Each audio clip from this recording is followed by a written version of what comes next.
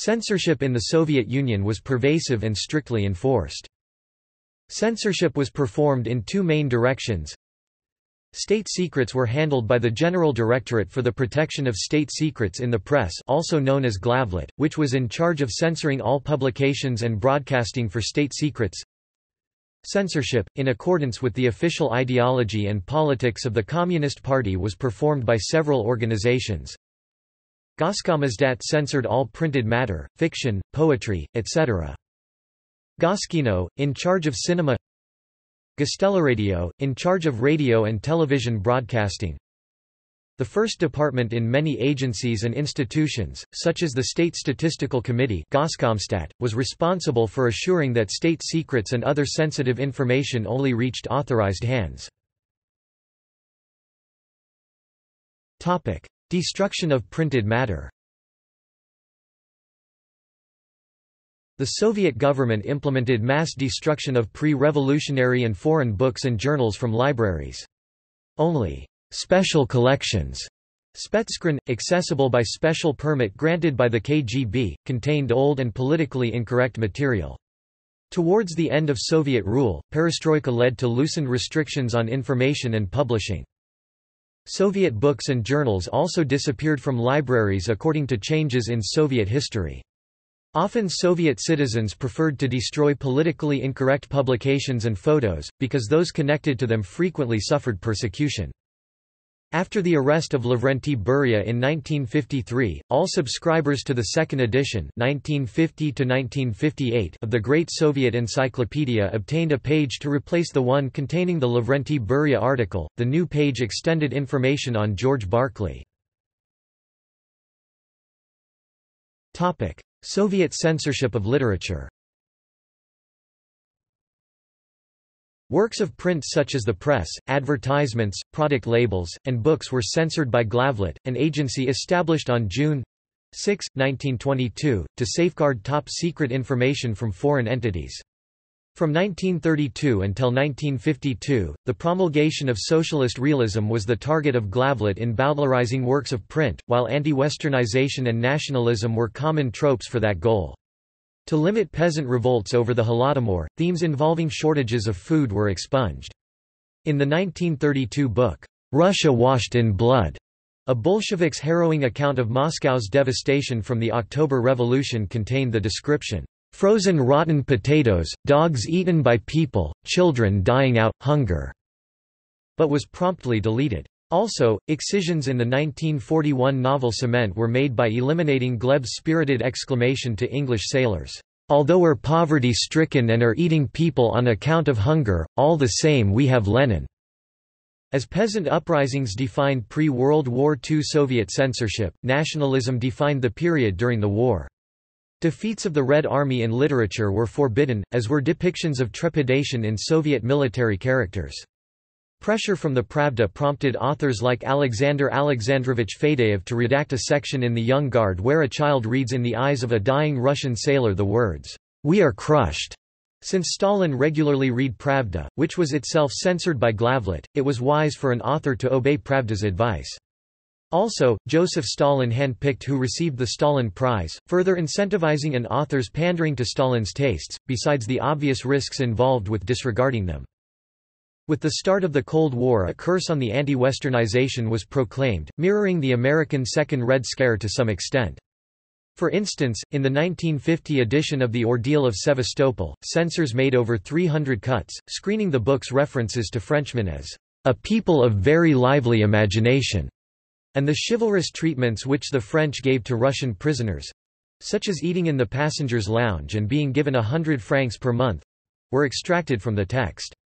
Historically, Russia has been technologically inferior to the West, which is demonstrated by Glavlit editing out a section of Sevastopol which enviously describes London's technological accomplishments in flattering detail. Religious intolerance and atheism was another goal of post-World War II censorship, and was an extension of anti-westernization. In the children's novel Virgin Soil Upturned, references to God making mist out of tears shed by the poor and hungry were rescinded. The Khrushchev thaw, beginning in 1953 with Stalin's death brought liberation of previously banned literature, and greater liberty to the authors writing during this time. Glavlit's authority to censor literature decreased after they became attached to the USSR Council of Ministers in 1953. The nascence of destalinization—the government's remission of Stalin's policies—is evident by censors replacing his name in "...for the power of the Soviets", with words like "...the party", or "...the supreme commander". Anti-Westernization was also suppressed, and in 1958, Sevastopol became divested of cuts meant to hide the West's technological advancement and Russia's backwardness. When Solzhenitsyn's One Day in the Life of Ivan Denisovich, a novel about a prisoner's brutal experience in the Gulag, was released to the public in 1962, it was clear that socialist realism was disappearing. However, censorship was not completely absent from this era. Emanuel Kazakevich's 1962 novel, Spring on the Oder, was posthumously injected in 1963 with descriptions of American bigotry, selfishness, and racism which was not in the novel originally. These examples of anti-Westernization indicate that works were still expurgated for propaganda, but censorship declined with Khrushchev's destalinization. Censorship of images Repressed persons were routinely removed not only from texts, but also from photos, posters and paintings. Soviet censorship of film Censorship of film was commonplace since the USSR's inception. Beginning with the Russian Civil War 1917 censoring film effectively advanced socialist realism, a mode of art production that positively portrays socialism and constituents of socialist nations. As propaganda tools against the masses—particularly the illiterate, Themes of anti-Westernization and nationalism depicted socialist realism in films by negatively portraying elements of capitalist countries while positively depicting the Soviet Union. Elements of anti-Westernization included censoring religion and technological superiority, while signs of weakness in the Soviet military like lost battles or frightened soldiers were expurgated to further nationalistic goals. Film censorship peaked during the rule of Stalin 1941 -1953. Acting as the chief censor for films, Stalin was demanding meticulous revisions in a way befitting his interpretation, as if a co-author. One famous letter Stalin wrote to Alexander Dovzhenko pertained to The Great Citizen, a film about the Purge trials. Stalin's letter made several intrusive revisions on the characters, props, and vital scenes such that the entire film needed restructuring. More moderate cases were recorded, such as a picture by Ivan Pyryev, where Stalin only changed the title from Anka to the party card.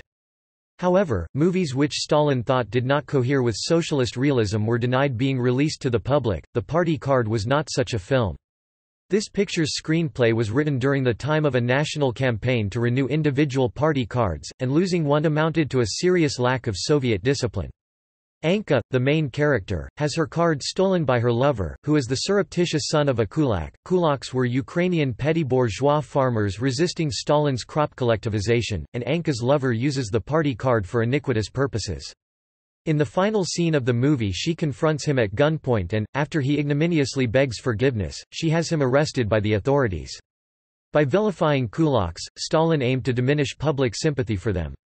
Socialist realism is promoted since, at the end of the movie, her loyalty to the party takes precedence over her romantic feelings, therefore, Stalin approved its production. However, not all films earned his approval. One example is the 1940 film, The Law of Life, which was retracted from cinemas after 10 days because it negatively portrayed a Komsomol leader by depicting him as hypocritical and abusing his power. Stalin organized a military tribunal which castigated the scenarist Alexander Avdyenko, accusing him of inaccurate representations of Soviet reality. While nothing was said of the director, Avdyenko was jettisoned from the party. However, directors were not always spared, as in the case of Margarita Barskaya. Her film Father and Son features a factory director who prioritizes his work over educating his son, Boris. Portraying Boris as an unhappy child and the father, a war hero as a slothful parent was regarded as slanderous by a film reviewer. After her movie was removed from cinemas she was arrested, and died in the Gulag. While Glavlit censored literature, Stalin micro managed the film industry. He made recommendations on what should be included, edited, or deleted entirely. If ignored, similar consequences to those that befell Margarita were meted out. However, while he was obsessed with films, Stalin was uneducated on film production. Due to this ignorance, Stalin thought of the director as a mere technician who carried out instructions. Therefore, he dictated that camera angles should not be shot from below, or above the actor, but always at eye level. Stalin's callowness over the importance of the director's work was of great benefit to the filmmakers since, with few exceptions, they survived. The centrality of Stalin in film censorship lasted to his death in 1953, but the strictness of Soviet censorship did not survive him. Khrushchev succeeded Stalin as the USSR's premier, and articulated de-Stalinization in his secret speech to the 20th Congress of the Communist Party of the Soviet Union. At this point, censorship finally began to diminish, this was known as the Khrushchev thaw. Film output grew to 20 pictures in 1953, 45 in 1954, and 66 in 1955. Movies now introduced themes that were formerly considered taboo, like conflicted characters. In the 1959 film Ballad of a Soldier, Alyosha, the main character, experiences a conflict between his lover and his obligations to the military.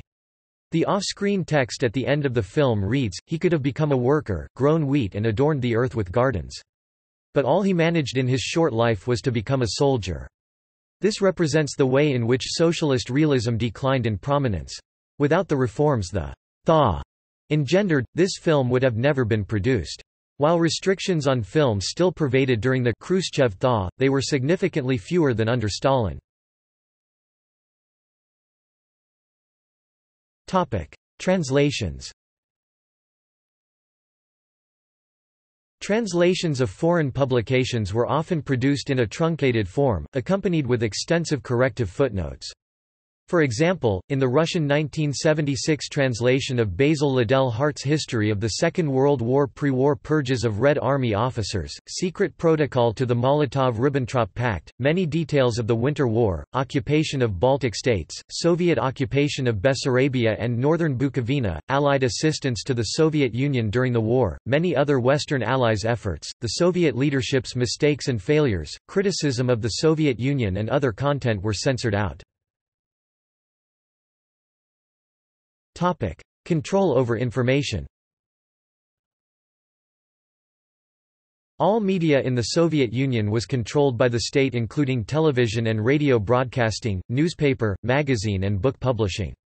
This was achieved by state ownership of all production facilities, thus making all those employed in media state employees. This extended to the fine arts including the theatre, opera and ballet. Art and music was controlled by ownership of distribution and performance venues. Censorship was backed in cases where performances did not meet with the favor of the Soviet leadership with newspaper campaigns against offending material and sanctions applied though party-controlled professional organizations. In the case of book publishing, a manuscript had to pass censorship and the decision of a state-owned publishing house to publish and distribute the book. Books which met with official favor, for example, the collected speeches of Leonid Brezhnev were printed in vast quantities while less favored literary material might be published in limited numbers and not distributed widely. Popular escapist literature such as the popular bestsellers, mysteries and romances which form the bulk of Western publishing was nearly non-existent. Possession and use of copying machines was tightly controlled in order to hinder production and distribution of samizdat, illegal self-published books and magazines. Possession of even a single samizdat manuscript such as a book by Andrei Sinyavsky was a serious crime which might involve a visit from the KGB. Another outlet for works which did not find favor with the authorities was publishing abroad. It was the practice of libraries in the Soviet Union to restrict access to back issues of journals and newspapers more than three years old. Jamming of foreign radio stations Due to the appearance of the foreign radio stations broadcasting in Russian and inaccessible for censorship, as well as the appearance of a large number of shortwave receivers, massive jamming of these stations was applied in USSR using high-power radio electronic equipment. It continued for almost 60 years. Soviet radio censorship network was the most powerful in the world. All information related to radio jamming and usage of corresponding equipment was considered a state secret. On the eve of the 1980 Olympic Games in Moscow the Olympic Panorama magazine intended to publish a photo with a hardly noticeable jamming tower located in the Fili district. Despite the photo being made from a public place it was approved for publication only after the tower was cut from it. One more way to limit Soviet citizens in access to outer information was the control over the production of receivers with wavelength shorter than 25 meters. Receivers with those ranges were primarily exported and were sold very rarely within the country. Circumvention of censorship Samizdat, allegoric styles, smuggling, and publishing abroad were used as methods of circumventing censorship. For example, an underground library was functioning in Odessa from 1967 to 1982, which was used by around 2,000 readers. Soviet dissidents were active fighters against censorship. Samizdat was the main method of information dissemination. Part of the dissident movement was engaged in protection of civil rights. The first in USSR uncensored newsletter distributed through Samizdat during 15 years, from 30 April 1968 to 17 November 1983. Such organizations as the Moscow-Helsinki Group or the Free Interprofessional Labor Union were also engaged in similar activities. There were cases of literary hoaxes, where authors made up a translated source. Poet Vladimir Lifshitz, for instance, invented a British poet named James Clifford, who allegedly died in 1944 on the Western Front. Vladimir published poetry which he claimed was written by James Clifford, but which was actually his own work. One more method was a so-called dog method. According to this, one should include an obviously ridiculous and attention-drawing vivid episode in the work. As a result, minor nuances went unnoticed. In this manner, a movie named The Diamond Arm was saved after the director, Leonid Gaiday, intentionally included a nuclear explosion at the end of the film. The Goskino Commission was horrified and requested that the explosion be removed. After resisting for a while Gaiday removed the explosion and the rest of the film was left almost untouched. One of the important information channels were anecdotes. Through this folklore form people often express their critical attitude to authorities and communistic ideology. Political anecdotes became widespread in 1960 to 1970. In 1980 a good anecdote propagated from Moscow to Vladivostok in three days. Topic see also topic References topic External links Attacks on intelligentsia, censorship, from Library of Congress website Censorship in the Soviet Union and its cultural and professional results for arts and art libraries Lewis, B. E. 1977. Soviet Taboo. Review of Vtoraya Mirovaya Voyna, History of the Second World War by B. Liddell Gart Russian translation. Soviet Studies 29 603–606. Venclova, Tomas July 1978. USSR, Stages of Censorship. Index on Censorship, 7 61–62 doi 10.1080/03064227808532817. Fireside, Harvey. October 2001. Psychiatry and Censorship in the USSR, 1950s to 1980s. Index on Censorship 30 211 to 212 doi 10.1080/03064220108536997. Stelmach, Valeria. Winter 2001. Reading in the Context of Censorship in the Soviet Union. Libraries and Culture. 36 1, 143–151 doi 10.1353 lac.2001.0022 JSTOR 25548897